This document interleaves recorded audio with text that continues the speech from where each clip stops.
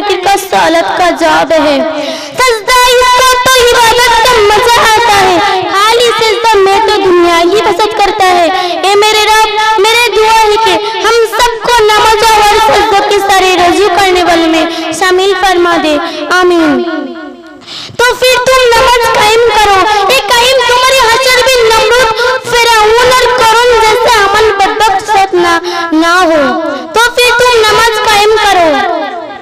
क्योंकि यही मोमिन का मीराज है दिल का सुकून है और चेहरे का नूर है बस अपने कितर का तू गासिक बन जा जीते न पाए कोई तुझसे ऐसे तू बासी बन जा तोड़ने वाले खुद करे ये नस्ने अपने शर्त है कि तू पहले नमाजी बन जा तू नमाजी बन जा نحمده ونصلي على رسوله الكريم أما بعد فأعوذ بالله من الشيطان الرجيم بسم الله الرحمن الرحيم মাননীয় সভাপতি, শিক্ষক, শিক্ষিকা মণ্ডলী, সম্মানীয় অতিথিবৃন্দ, অভিভাবক, অভিভাবিকা, আমার সহপাঠী ও ছোট ছোট বোনেদেরকে আমার আন্তরিক সালাম ও অভিনন্দন জানিয়ে আমি আমার সংক্ষিপ্ত বক্তব্য শুরু করছি।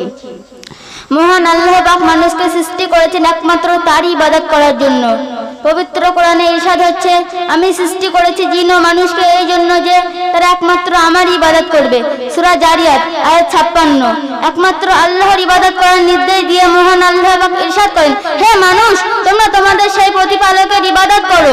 যিনি তোমাদেরকে তোমাদের পূর্ববর্তীদেরকে সৃষ্টি করেছেন, যাতে তোমরা মুত্তাকি হতে পারো। সুরা বাকারা, আয়াত 21 শিক্ষা ছাড়া কোনো ইবাদতই আল্লাহর দরবারে কবুল হবে না।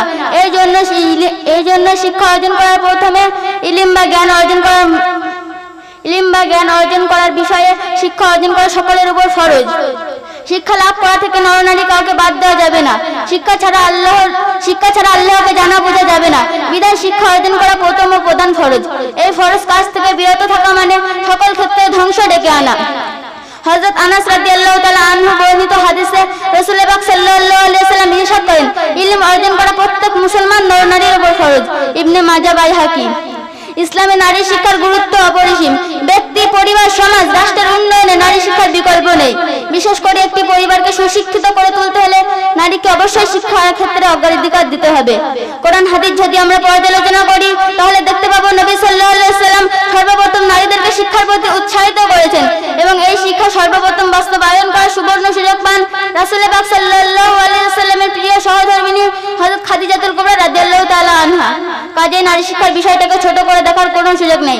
নবী সাল্লাম স্বয়ং নিজে নারীদেরকে শিক্ষা দিতেন এবং তার অনুপস্থিতি অন্যজনের নিকট গিয়ে শিক্ষা গ্রহণ করার জন্য নারীদেরকে উৎসাহিত করতেন। মহিলা সাহাবীদের মধ্যে অনেকে ছিলেন অগাধ পণ্ডিতের অধিকারিণী। হযরত আয়েশা রাদিয়াল্লাহু তাআলা আনহা ছিলেন হাদিস ও ফিকহ শাস্ত্রের এক মহান পণ্ডিত। চার খলিফা সহ বড় বড় সাহাবীরা তার কাছ থেকে বিভিন্ন বিষয় শিক্ষা গ্রহণ করেছেন। রাসূল আলাইহি সাল্লামের সাহাবীরা যখনই কোনো মাসালার ব্যাপারে সন্দেহ বা সমস্যায় পড়তেন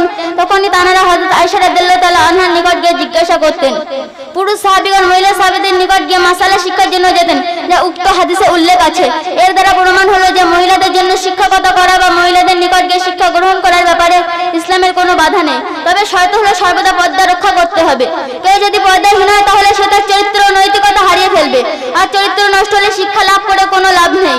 কারণ শিক্ষা অর্জন করা একটি ফরজ কাজ এবং এর চেয়ে বড় ফরজ হলো পর্দা রক্ষা করা। আসসালামু আলাইকুম। খুব পরিচ্ছন্ন ভাষা তাই না?